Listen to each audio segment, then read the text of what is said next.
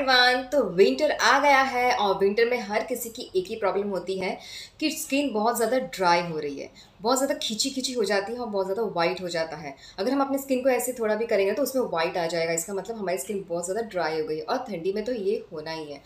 इसके लिए सबसे ज़्यादा बेस्ट ऑप्शन ये है कि हमें सबसे नरिश्ड वाला जो क्रीम होता है ना, बहुत ही डीप नरिश वाला क्रीम वो यूज़ करना है विंटर में।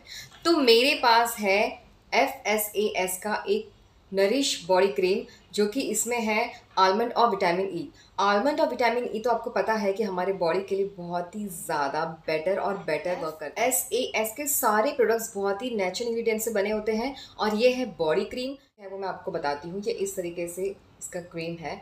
बहुत ही ज़्यादा नरिश है आप देख सकते हैं और मैं आपको इसको लगा के भी दिखाऊँगी।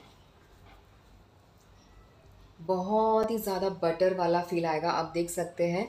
और जिसकी भी ज़्यादा ड्राई स्किन है, बहुत ही ज़्यादा ड्राई स्किन है, वो ये डेफिनेटली ले सकते हैं, क्योंकि मेरी भी बहुत ज़्यादा ड्राई स्किन है और मैं हमेशा से ऐसे ही क्रीम देखती हूँ जो कि मेरी स्किन को प्रॉपर अंदर तक जाए और डीप नरिश करे।